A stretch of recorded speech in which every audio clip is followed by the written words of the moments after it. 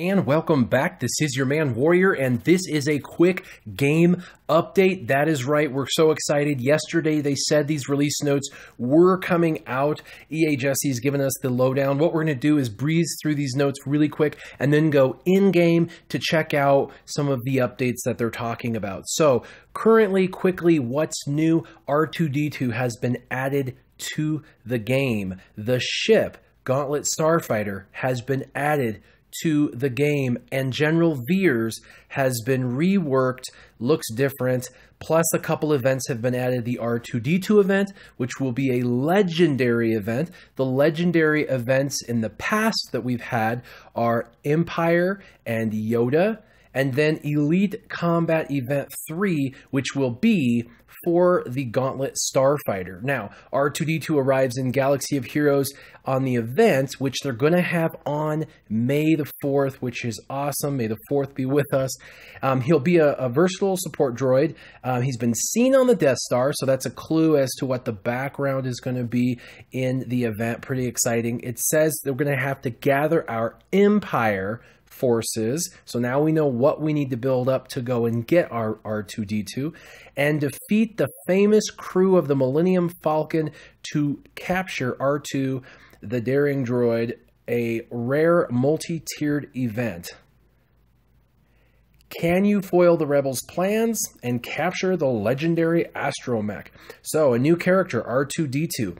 We're going to go into his abilities when we get into game for the May daily login character and faction pass. There's two things about that. One, the Empire is always formulating new strategies to crush the rebel threat. General Veers is the daily login for May and heads the charge with a new Empire faction rework that will introduce the Imperial Trooper faction. Pretty exciting, a whole new faction called Imperial Troopers, and he's going to be the first of many inside of there. It says, with the addition of the new Imperial Trooper category debuting in May, Troopers that's i'm assuming troopers in the game. It's pretty much there's a lot of troopers in the game. It says well troopers will share a variety of unique abilities and advantages becoming a much more formidable force.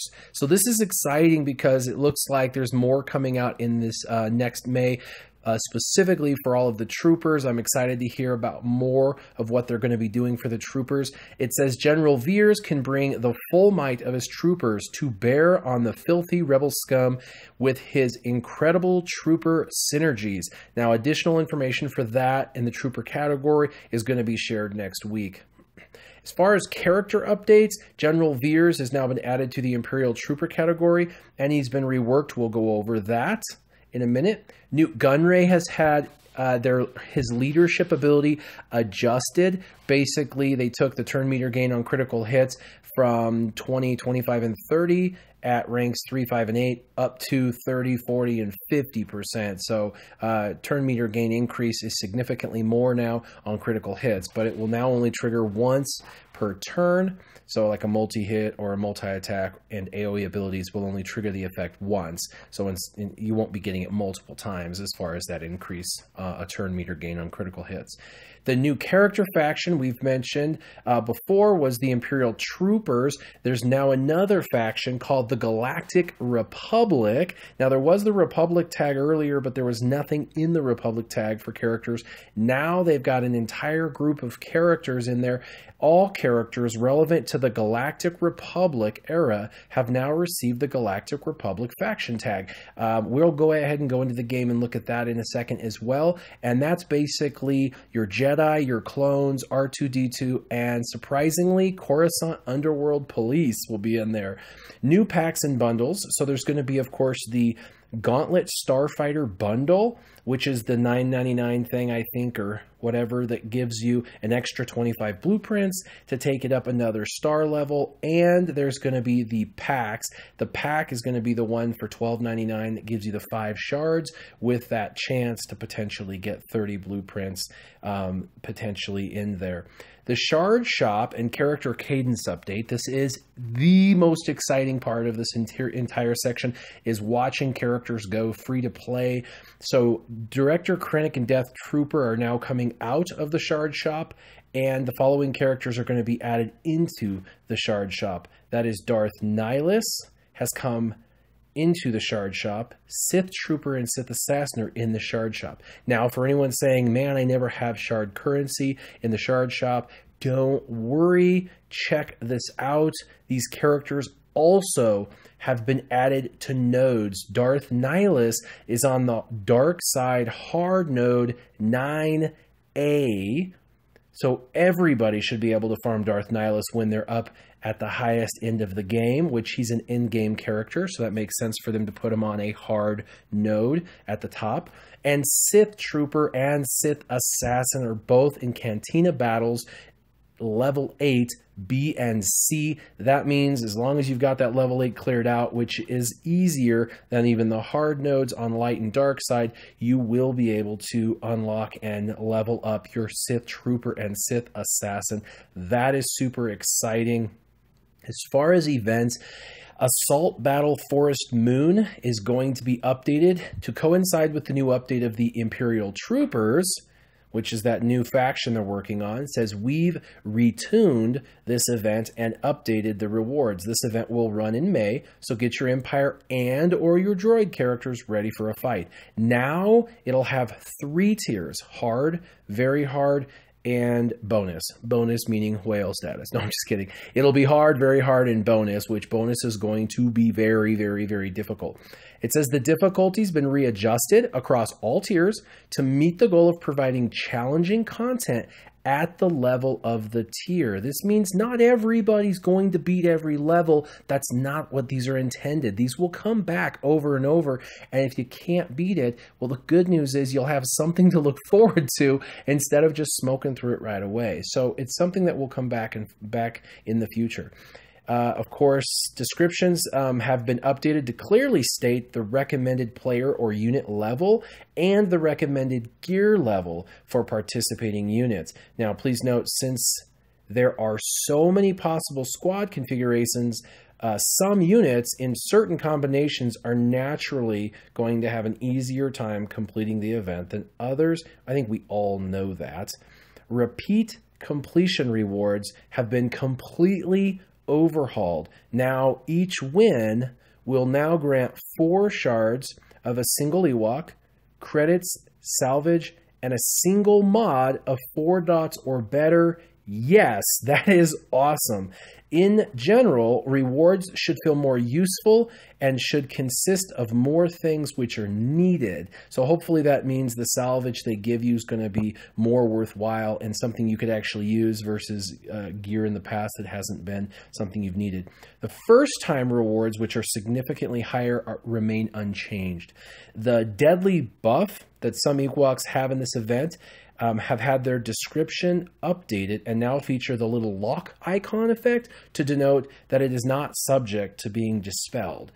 Teebo in Encounter 4 is now correctly tagged as a boss and is using the correct boss stats for his encounter. That's really not something you need to worry about, except there are certain abilities that work one way and on the other. For example, Darth Nihilus will do 100,000 damage to a boss, but will destroy normal characters. So Darth Nihilus would not be able to annihilate Teebo in Encounter 4. He would only be able to do 100,000 damage, which I hope is enough to take Teebo out.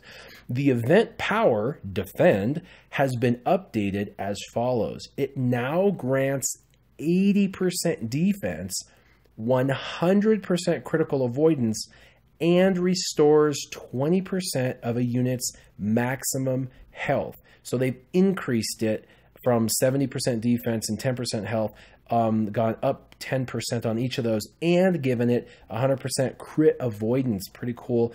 This last this ability lasts for one turn and it has a two turn cooldown. So you can use it every other turn. That's pretty exciting. The description for Defend has been updated to reflect the changes above.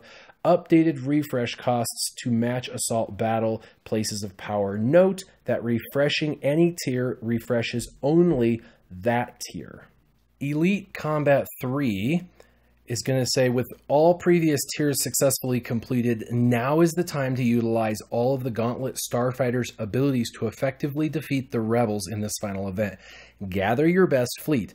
For more information, be sure to review April 11th's game update notes, and they have a link to find those game update notes. They've also fixed a bug that caused the Tusken Shaman's Rite of Savagery during rank 8 to heal too much or more than it was intended on rank 8.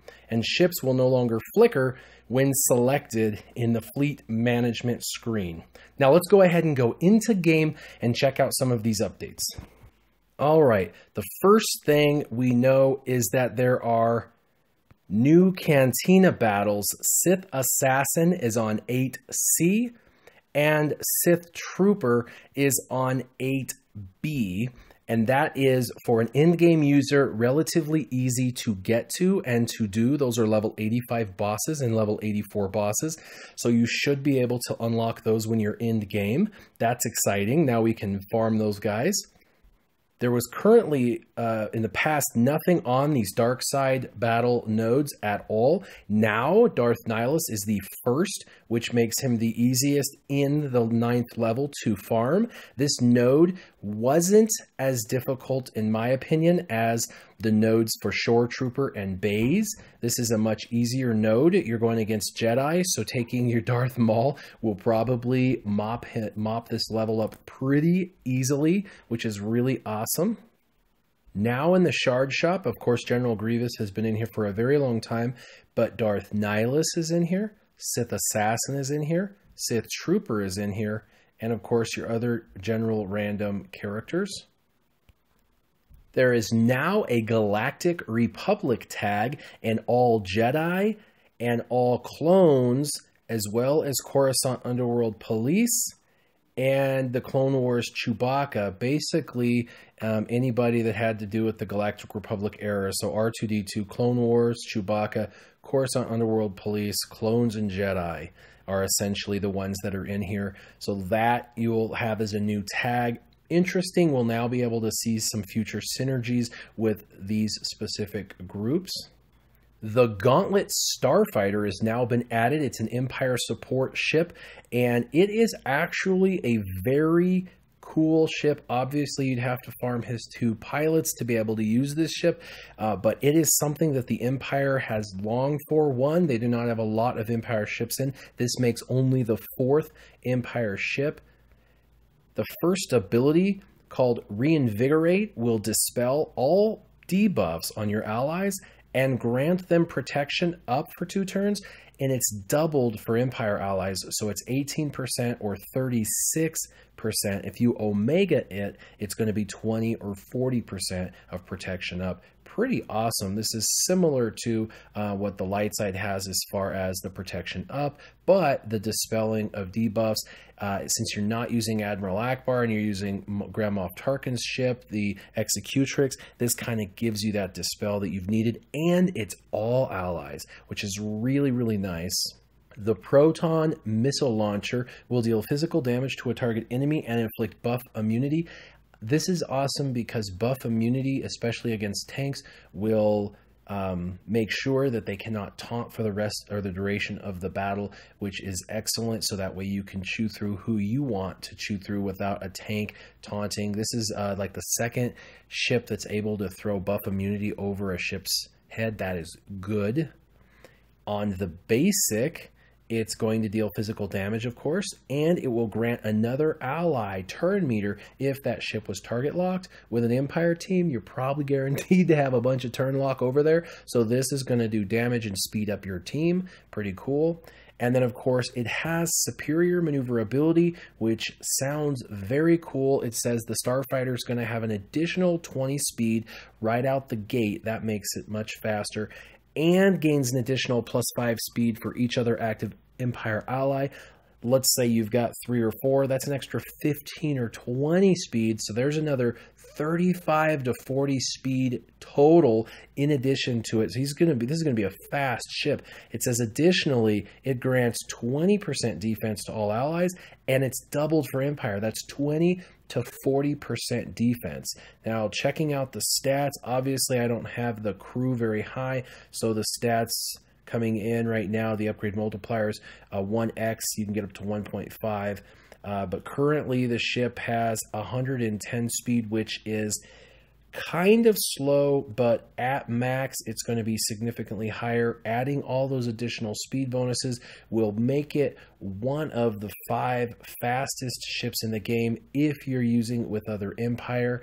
It does look like it's going to be underpowered as far as the power stat goes, but don't let that deceive you. The toolkit of the Gauntlet Starfighter looks very promising. And here's General Veers with the new Imperial Trooper tag, and look at how shiny his chest plate is. That is awesome. I, they did a phenomenal job with the artwork on him, and they've messed with his abilities. Let's just go ahead and go in. I have him now tagged as a favorite since he's been reworked. I'm going to start getting him up. I've got him at gear 9, almost gear 10, so that is good because it sounds like something pretty promising is coming down the way. On his first basic, during attack, it will deal physical damage uh, to an enemy with a 70% chance to grant speed up for two turns to General Veers and a random Imperial Trooper ally who doesn't have the speed up. That's pretty cool for his first special, Ruthless Assault.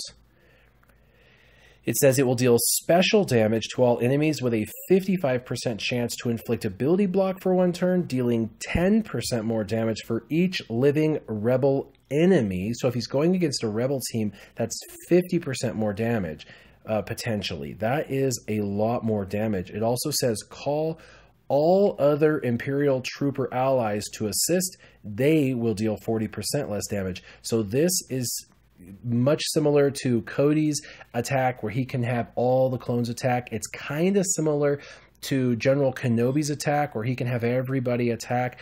Uh, because, th- but this one it just allows for all the Imperial troopers, uh, allies that are called to assist, uh, which is really, really cool. You could make a fun trooper team and go against rebels. I think this is pretty exciting. His second or his third ability is his leadership ability, and it goes up to an Omega, and it says Empire allies will gain 30% offense, so those are your troopers that you're going to have behind him. And it says Imperial trooper allies will gain 20 speed. This is a lot of speed. That is exciting. It says, and they gain 10% turn meter whenever they gain a buff. So he's giving them buffs, and those buffs are going to give them turn meter, plus he's giving them base speed that's significantly higher, 20 points higher. That is awesome. His unique aggressive tactics is going to be able to be zetaed and it says whenever an enemy is defeated while Veers is active means he's on the board it says imperial trooper allies will gain offense up for two turns gain 50% turn meter and recover 10% protection. That's pretty amazing because he's going to give all of the trooper allies that offense up, that turn meter, and the protection. So the more they kill people, the faster they, the stronger they get, the faster they get, and the harder they hit. This is a, a, steamroller type ability, and it's called aggressive tactician. I think it's very cool. I am excited to see this play out for sure. I can't wait to get him maxed out and play it with him. Hopefully soon we'll learn more about the other Imperial troopers. Currently, he is the only Imperial trooper in here tagged, but we know they said there was more coming out, so I am excited.